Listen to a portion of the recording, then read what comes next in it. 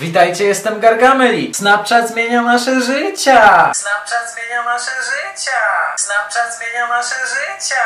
Snapchat zmienia nasze życia. Z przypiętych ciągle do telefonów, komputerów i internetu istot przeistacza nas w przypięte ciągle do telefonów, komputerów i internetu istoty. Kiedyś ludzie ze sobą rozmawiali. Zaloguj się do życia. YouTuberzy nagrywają filmy, w których otwierają snapy od swoich widzów. Ja tego nie zrobię, ponieważ YouTube zdjąłby ten film za nagość. Ale zamiast tego powiem wam rzeczy, które prawdopodobnie robicie na Snapchacie, a ja ich nie rozumiem. Zaczynajmy. Sytuacja wygląda następująco. Dostaję snapa, snap jest dziwnie nieskierowany bezpośrednio do mnie, jest najprawdopodobniej o robieniu czegoś w danym momencie, ale chuj, będę miły i odpiszę. Potem wchodzę do My Story. I tam jest ten sam snap, na który przed chwilą odpisałem.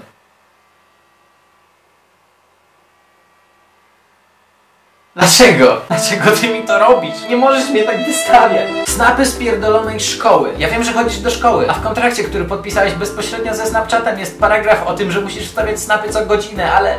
Kurwa. Ale kogo obchodzi jakiś typ z ławki? Żadnego żartu, żadnej informacji. Po prostu typ w ławce.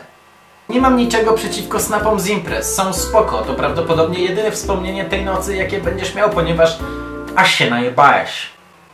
Ale kiedy widzę, że ktoś nagrał 420 sekund filmu jednego wieczoru, musiałeś się naprawdę dobrze bawić, jeśli uznałeś, że nagranie czarnego pomieszczenia z głośną muzyką i losowymi krzykami to najlepsza możliwa rzecz do robienia w tamtym momencie. No ale rozumiem, kręcisz swój niskobudżetowy Project X. I okej, pomówmy o robieniu pełnometrażowych filmów na My Story. Nikt nie ma na to czasu. Ty nie jesteś Kubrickiem, a ja nie poświęcę całego wieczora na oglądanie śmieszkowania z ziomkami part 3. Dziewczyny, jeśli wysyłacie półnagie zdjęcia, to naprawdę nie musicie dopisywać czegoś o tym, że macie nowe buty. Bo buty to praktycznie jedyna forma odzieży, którą macie na sobie w tamtym momencie. Więc jeśli już chcecie wysyłać takie zdjęcia, to napiszcie po prostu fuck me daddy. Jest pierwsza 20. Jak co dzień, a raczej jak co noc siedzę i tworzę albo oglądam coś. Gdy nagle dostaję snapa, na którym jest godzina i napis INSOMNIA!